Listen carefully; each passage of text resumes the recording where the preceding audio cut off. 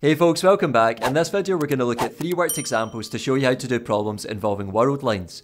Now if you haven't already done so, check out my previous video covering the theory on this topic and that way you can apply what you learned in that video to this one. So let's get started. Question 1 says that two space-time diagrams are shown with a world line on each write down what each of the world lines describes. So you'll notice in both diagrams for part A and B we've got the time axis and the x axis, so we're dealing with the x dimension of space. And in part A you'll notice we've got a straight vertical line, so that means that our position x is going to stay the same over time, so that's the same as a stationary object with a constant x. Whereas in part B we've got a straight horizontal line, which means we're going to have a constant time and a changing position. So this is the same as a rod in space-time, and we say that it is not classed as a world line because it's got a constant time. And that's because world lines are all to do with what happens to an object over time. So this one is called a rod in spacetime. Question 2 says that the spacetime diagram below shows two world lines. So we've got our time axis and our space axis which is the x dimension.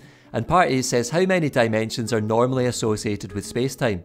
Well remember there's usually 4 dimensions where 3 are space dimensions x, y and z and 1 is time t. Part B then says which world line describes a faster speed. Well remember it's going to be the positively sloping line which has the steeper gradient and steeper in this case means closer to the x-axis, the position axis over here. So the world line with the faster speed is going to be the world line closest to the x-axis since its gradient is steeper, so that's this one here. Lastly, question 3 says to explain the difference between the two world lines on the space-time diagram below.